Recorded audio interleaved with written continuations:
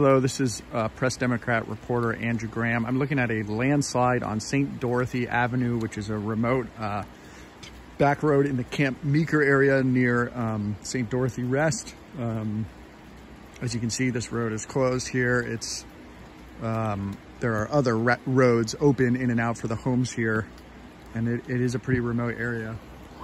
Um, but really, it's just indicative of kind of the uh, the problems that are all over West County from down trees, down wires. I've seen a lot, I've been driving around all morning. I've seen a lot of flagged wires on the road, uh, flagged down trees, and in this case, this landslide. Um, so obviously there's a lot of catching up to do. I mean, just a lot of damage last night. And so uh, it's taking crews a while to, to it's gonna take crews a while to get on top of all these things.